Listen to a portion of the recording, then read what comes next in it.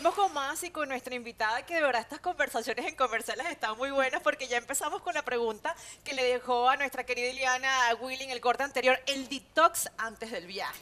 Ay, bueno, el detox antes del viaje es, eh, mi amor, me voy. ¿What? ¿No te vas? Sí, me voy. Entonces tienes que hacerle el detox a los que están alrededor tuyo, porque el detox tuyo lo vas a hacer en el viaje, ¿ok?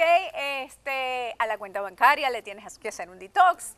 A- Claro, dejar cosas perro programadas, me imagino, A los también. niños le tienes que hacer un detox. Porque el mundo sigue, entonces tienes que dejar Claro. los, los pagos preparados de, durante Claro. esos 15 días. Pero bueno, todo ¿sabes qué es maravilloso? Por ejemplo, las mamás. Las mamás eh, ha sido una experiencia muy interesante porque la 80% de las mujeres que vienen son madres y tienen hasta niños chiquitos y dejan, y es como, o primera vez que dejan a los maridos con los niños, o así, y entonces van como, Dios mío, ¿qué va a pasar? Y re- resulta que se enteran que no pasa nada, que el marido pudo, que nadie se murió de hambre, que los niños no se murieron. Y ¿no te ha pasado que alguna de estas mujeres que están casadas y con hijos llegan y me quiero divorciar después de este viaje?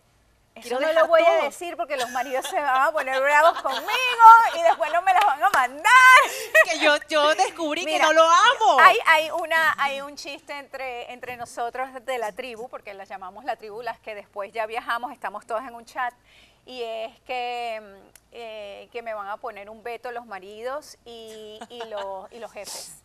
Este, pero hay otros maridos que van fuerza zurra porque dicen, no, tú me la mandaste y es otra.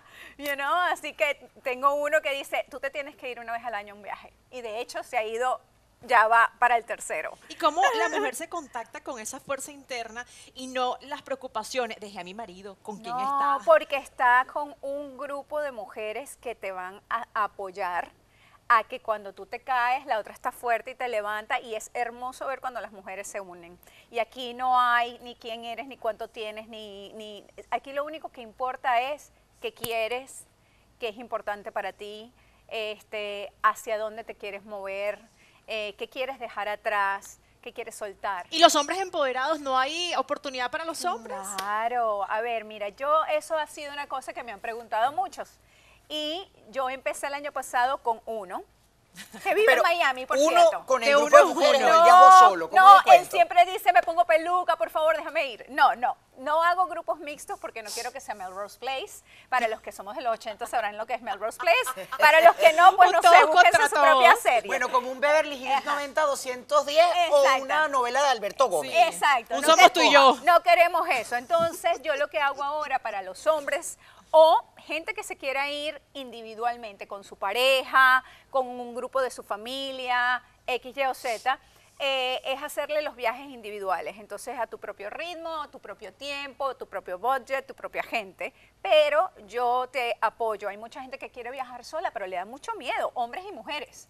¿Cuáles son los destinos? Vamos a repetir lo de los destinos que a lo mejor llegaron tarde en el bloque Claro. anterior porque son divinos los sitios Los donde la gente pudiera ir. destinos es India, Bali, Marruecos, el Camino de Santiago, eh, Italia, que es una mezcla retiro, ese te gusta a ti, es una mezcla retiro y una mezcla cine. Ah. Porque hay un festival que se llama Cinema Ritrovato en Italia en junio, que están todas las películas reformadas antiguas de- desde 1920 a 1980 y hacen un festival de cine gigante, hermoso, y entonces un poco para activar la creatividad. Cinco días activando nuestra creatividad y cinco días compartiendo la creatividad de otros. O sea, que, que es una mezcla de todo. O sea, meditamos, eh, obtenemos Ajá. las herramientas para yo descubrirme, empoderarme, pero también conocer un poquito de la cultura del destino. Exactamente, es muy importante. Para mí, el gran maestro de todo esto, ni soy yo, ni son los otros facilitadores, es el viaje en sí. Ver cómo otra gente vive, cómo otra gente piensa, cómo otra gente come. Eh, es como abrir el- la mente a Dios, pero, pero es que hay miles de formas de hacer esto que llamamos vida. Si tú hubieses hecho una meditación como esta, ¿crees que no hubieses caído en esa bancarrota emocional? Eh, no, porque esas son cosas importantes que ¿Qué tienen que aprendiste? pasar. Eh, aprendí mi valor como persona, aprendí mi valor como profesional, como mujer, aprendí de qué estoy hecha. Si yo no me caigo, no sé de, no sé de lo que soy capaz. Si no me rompo, no me puedo volver a armar.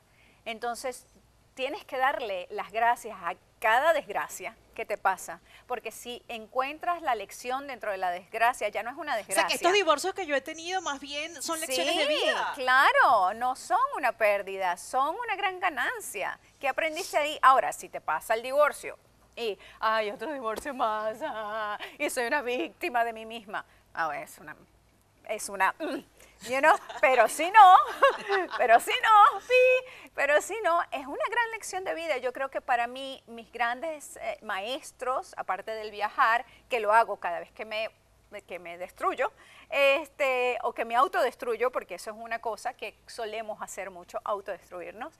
Eh, yo agarro el avión y me, voy porque sé que es la gran, la gran sanación, la gran cura, el, el abrirme a otro mundo es abrirme hacia mí.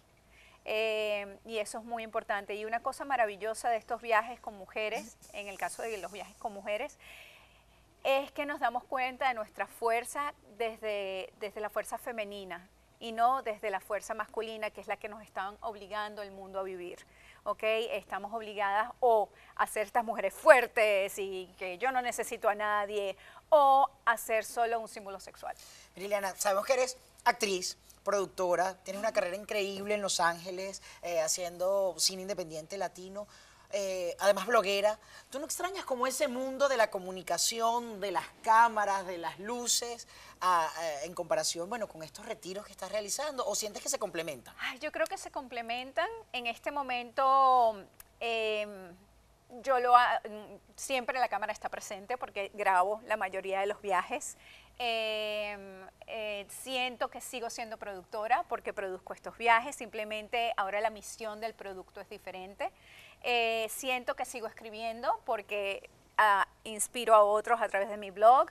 Eh, estoy, voy a sacar mi primer libro ahora a mediados de año, ya les avisaré. Este, entonces siento que todo lo que yo he hecho en el pasado me ha hecho llegar acá para poderlo hacer, porque hay mucha gente que, bueno, de repente son breathwork facilitators o yoga teachers o this and that, pero no saben cómo themselves out comunicarlo. ponerse, ponerse afuera, cómo comunicarlo, cómo marketearte, cómo... Y Claro, yo y utilizas sí, todas estas herramientas en conjunto. Y no significa que en un futuro no haga otras cosas, digamos, más serias de cámara. Pero ahorita yo estoy tan feliz, honestamente, haciendo Claro, lo que estás hago. disfrutando lo- las herramientas que te ha dado la vida. Yo, Y eso Sí. es todo lo que estamos buscando todos en el día a día, es eso, encontrar la felicidad. Claro, Y Diana, no. ya, ya tenemos que despedirte, pero antes de terminar esta entrevista tan maravillosa, ¿cuál es el primer paso que crees tú debe dar una mujer? El primer paso es decir, yo me merezco este tiempo para mí, ya sea conmigo, ya sea sola, ya sea un fin de semana o 15 días o un año. Yo creo que el primer paso es decir, you know, that's, that's it. Todos los demás tienen que esperar y tienen que buscar su propio tiempo y buscarse su propio esfuerzo. Yo no soy ni enfermera, ni psicóloga, ni soy la mamá, ni soy nada de nadie tienes eh, una, una responsabilidad con tus hijos, pero hasta ahí. Sin sentir culpa, Sin ¿verdad? sentir Muchas culpa. sin sentir culpa, ¿no? Porque si tú no estás bien, y eso es la realidad de la vida, si tú no estás bien, nadie alrededor tuyo lo va a estar. Así es. Gracias por acompañarnos. ¿Tus redes sociales nuevamente? Mis redes sociales es Iliana Sim en Instagram, eh, Iliana Simancas en Facebook. Y este fin de semana, no se olviden, estoy en Miami el 23 y el fin de semana que viene, el 28 en Weston. Ya yo estoy contactando también esa agencia, ¿tú? Claro que sí, organicé mi viajecito privado. Además, que bueno, ya sé que lo organizas para grupos pequeños, de ocho Sí, personas ocho o de personas. dos. Así que bueno, Cualquier, ya hay dos. Cualquier cosa que necesiten, ilianasimancas.com. Gracias por acompañarnos. Hacemos una pausa y ya venimos con más.